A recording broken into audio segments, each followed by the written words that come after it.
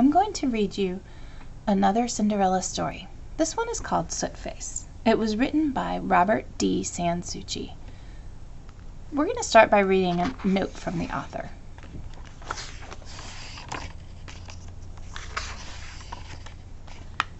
This well-known story seems to be primarily a tale of the Northeast and Great Lakes tribes, such as the Ojibwa and other Algonquian, Algonquian groups, Canada's Micmac people, and so on. I have also come across a variant from a Pueblo storyteller in the Southwest, indicating that this popular tale has traveled widely among native peoples. Interesting.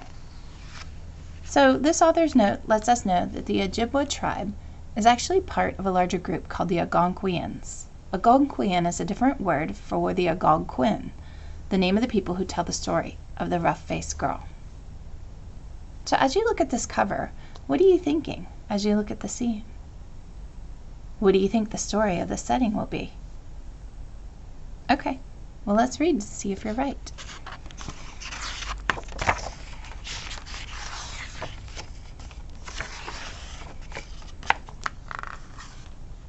Once an Ojibwa man whose wife had died raised three daughters alone. They lived in a village beside a lake deep in a forest of birch. The sisters were supposed to share the work of gathering firewood, cooking food, and sew sewing clothes from skins that their father provided. The two older girls, though pretty enough, were lazy and bad tempered, and when their father was away hunting they gave most of the work to their youngest sister. The flames from the cooking fire singed her hair and burned her skin. Sometimes her sisters beat her and smeared her face with ashes, and then they made fun of her and called her Soot Face. So this word soot is another word for ashes. What are you thinking so far about how this story begins?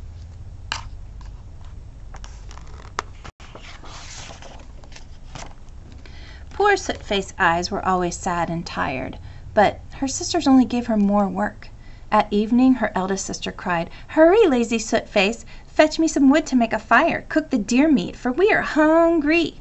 And in the morning her middle sister said, "Hurry, lazy Soot Face! Clean the ashes from last night's fire. Brush the mats, gather the berries, and bring fresh water. Our father will soon return from hunting." When the hunter returned, he saw poor Soot Face and asked, "What has happened to my youngest child?" The eldest sister said, "Oh, that one is so clumsy. She fell over her own feet and rolled through the ashes." And the middle sister said, "We tell her to be careful not to go too near the fire, but she will not heed us." Hmm. So what do you wish would happen next in this story? You could pause the movie here and share your ideas. Soot Face was too afraid of her sisters to argue. She just kept on working. All the while she sang a little song to herself. Oh, I'm thinking, oh, I am dreaming, that even as ugly as I am, I will some day find a husband. Her sisters took the best skin to make dresses and moccasins for themselves. Soot Face had only scraps to sew into a skirt and a worn out pair of her father's moccasins grown stiff with age, and when she walked to the lake to fetch the water, the young men would nudge each other and point and laugh. Now there was a mighty warrior who lived with his sister in a wigwam across the lake from the village. A great medicine man had given him the power to make himself invisible. No one from the village had ever seen him, though they saw his white moccasins when his sister hung them beside the door flap. They saw the flap rise and fall when he entered or left his wigwam. The villagers knew he was a great hunter, for they watched his sister dry and skin all the deer, elk, and other game that her brother brought her and though no one but his sister could see him, the women of the village were sure that he was very handsome. One day the invisible warrior told his sister, "Go to the village across the water and say that I will marry the woman who can see me. This means that she has a kind and honest heart. Each day I will carry my magic bow. The woman who tells you what my bow and bowstring are made of will be my bride." His sister brought this message to the village people. One by one the young women came to visit the lone wigwam.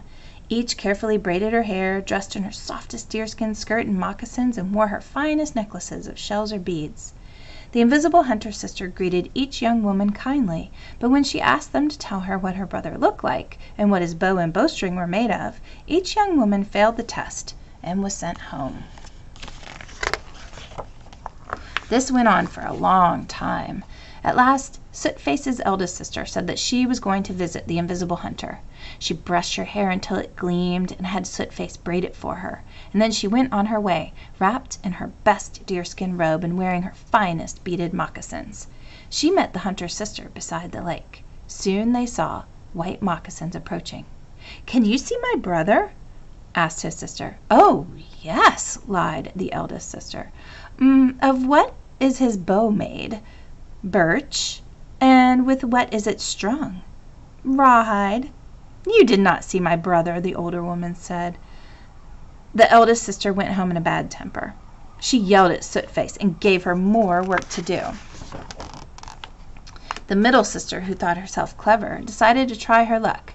She hung strings of pale shells, shells at her throat and had Oh boy, that's really loud. I'm going to pause. That's a lot of sirens. Sorry, I'll start again.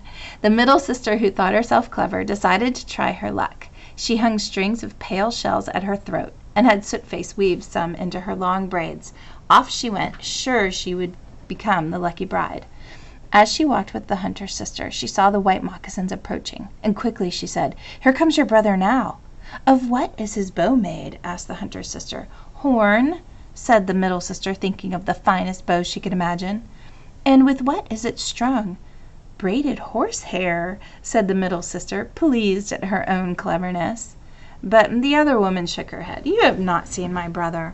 The middle sister arrived home in a fury. She scolded Sootface and smeared more ashes on her face. The next day Sootface decided to visit the hunter's lodge, as her sisters had done. She begged her eldest sister, "Sister, will you let me wear your white shell necklace, softest skirt, and moccasins? I want to go and seek a husband."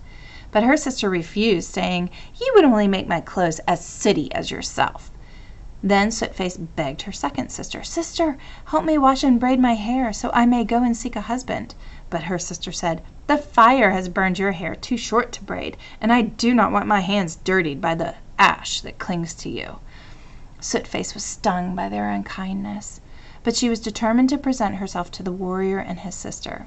She went alone into the woods, and there she said, "Sister Birch Tree, share your soft white skin with me, and then I can wear a new skirt when I go seek a husband." Let's pause here for a second. Sootface calls the trees Sister Birch Tree. What do you think about that? And how do you feel about her? And what does she gather from the tree? Pause here and talk about how Sootface is treating the tree.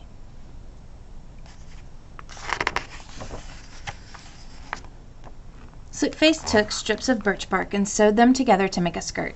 She wove herself a necklace of wild flowers and soaked her old stiff moccasins in a spring until they grew softer. Next she washed her face and her hair as best as she could. Her hair was too short to braid, so she added flowers to it, all the while singing, "Soon I am thinking, soon I am dream dreaming, that I will find a husband. I am sure it will be so." But when she passed through the village dressed in her finery the forest had provided, her eldest sister cried, "You are so ugly and foolish looking. Go inside at once." "You will shame us before the hunter and his sister," cried Sootface's middle sister. But Sootface walked on as though they were no more than the chattering of birds in the trees. And when her sisters saw that she would not listen to them, they began to laugh at her. To friends and neighbors the eldest sister said, "Come, see little Sootface. Her clothes are birch bark and weeds, her moccasins are stiff and cracked, and yet she goes to find a husband." Next the middle sister shouted, "Look at little Sootface. Her hair is burned, too short for braids. The smell of cook fires clings to her, and still she hopes to find a husband." And soon all the village was laughing at her. But the young woman continued on her way, never once looking back. I think she looks pretty. so, how do you think Sootface feels at this moment? Based on her actions, how do you feel about her so far? take a minute to talk about it. After a time, Sootface met the hunter's sister, who was drawing water from the lake. She greeted Sootface kindly, and they began talking. Suddenly, Sootface said, oh, "There's a handsome man walking toward us. Do you know him?" The hunter's sister said, "Can you see him?" "Yeah, he's carrying a beautiful bow." "Of what is his bow made?" "A rainbow." "And how is it strung?" "With white fire, like the Milky Way, the path of the souls." The hunter's sister embraced Sootface, crying, "You're going to be my brother's bride and my own sister." That is a cool bow. She led Sootface to the wigwam, and there she poured water into a big pot and mixed in sweet smelling herbs. Sootface found her hurt and sadness washed away as easily as the ashes from her face. The hunter's sister gave her a dress of soft white buckskin decorated with beads and quill work.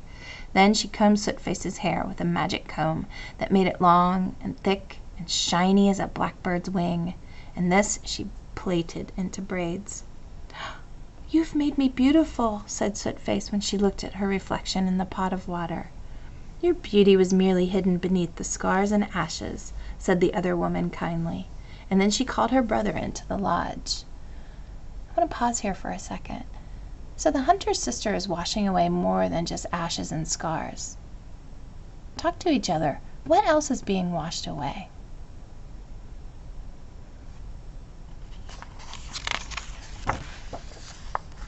What is your name? the young man asked gently. Sootface, the girl said, blushing. He smiled and shook his head. Your eyes shine with such joy that I will call you Dawn Light. Today I will carry a gift of game to your family as a sign of our betrothal. Betrothal is another word for getting married.